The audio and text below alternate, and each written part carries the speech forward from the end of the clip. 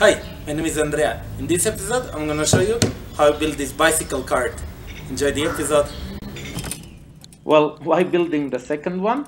I decided to build a new one to show you how I made it. First, I went to pick up lumber for the build. I'm building this out of red cedar and Guanacaste wood, but you can choose any wood to build it. I recommend lightweight timber. I ripped my planks to width on the table saw and to length on the miter saw.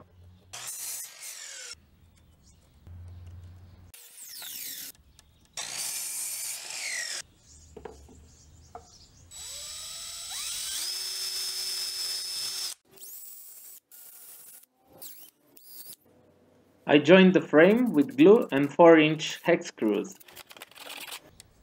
Then I cut Guanacaste pieces to build a box. I used pocket holes for most of the joinery.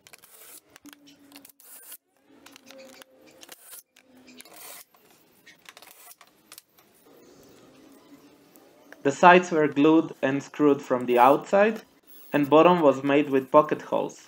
My previous box was made the same way and it was plenty strong for the last two years.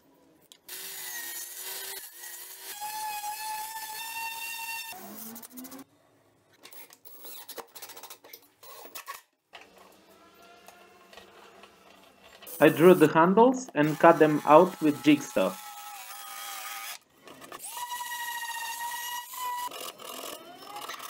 Then I applied sealer, left it dry overnight, and the next day I drew the Aztecan pattern onto the box using projector. Barbara painted all the details, thank you dear. When that was dry, I applied the lacquer finish.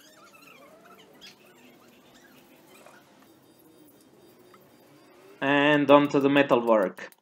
I got the pieces free from construction place. The pieces were cut-offs of steel beams. The pieces I made were four pieces to support wheels and three mechanical pieces, making possible for a trailer to turn, swivel and pivot during hauling with bike.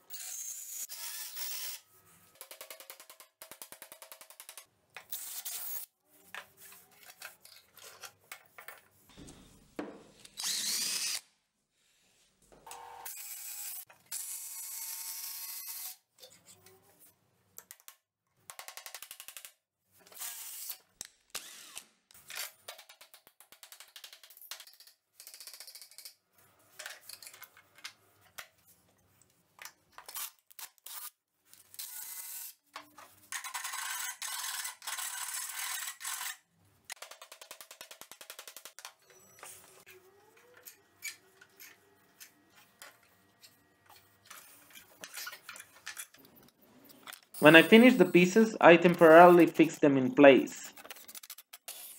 Then I cut rest pieces for the frame of the trailer.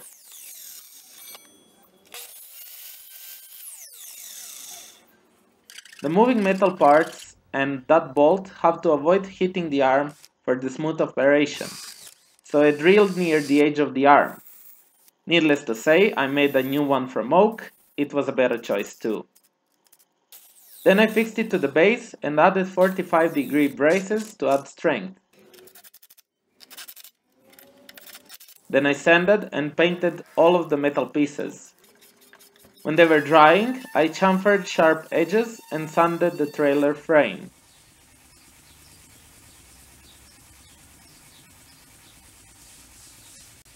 Then I applied lacquer to the frame. When it was dry, I installed 20 inch wheels. Then I assembled the moving pieces. I used washers as spacers and double nut to secure them from falling out. Here we don't have nylon threaded nut.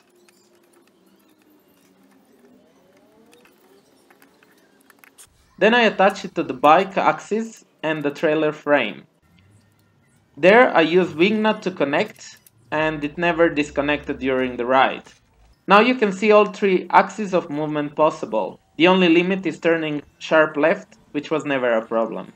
When the trailer is not in use, I secure moving pieces with rare earth magnet so they don't get caught in chain or spokes. Finally, I attach the box with 4 screws and added the lovely plate.